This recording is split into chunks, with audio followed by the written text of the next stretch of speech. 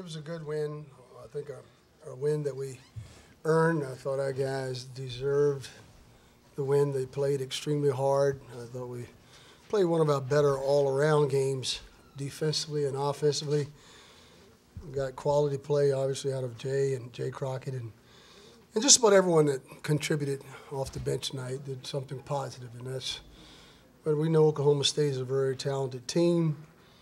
Um, Marcus Smart obviously is one of the best players in the country. Uh, I thought we did a, an adequate job of uh, trying to contain him, and, and, and, I thought our inside presence uh, made a difference.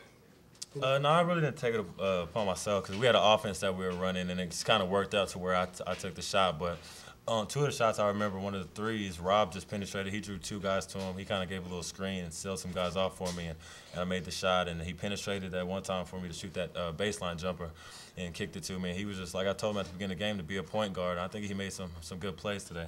It was extremely important for us to win tonight. You know, just for for the team, and, and it's going to give us confidence going on to the next game because it doesn't get any easier from here.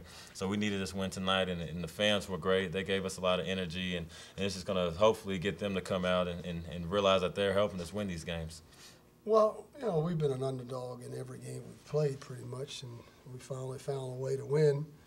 It, it I think it validates that we're moving in the right direction. I think the fans feel that, and the administration feels that.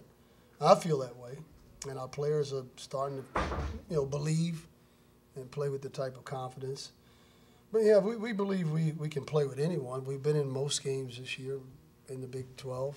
Um, uh, we've, we've given a few away, and hopefully we can steal a few down the stretch here.